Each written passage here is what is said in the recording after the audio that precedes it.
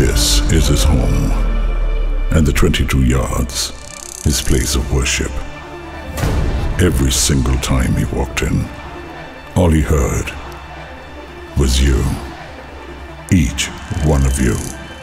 The stands chanting, the nation cheering, and the fans praying. And when a billion hopes are on you, the only way. Crafting those cover drives, practicing the straight drive, mastering the cut, then improvising on the uppercut. He always found a way. Over the years, every single day, every match, every ball, he learned, unlearned, and relearned. It's time to bring all of my learnings to you. Join me as I take you through the game of cricket in my new series, Cricket with Sachin, only on Unacademy. This time, it's me, Sachin Tendulkar, cheering for you. Let's crack the game.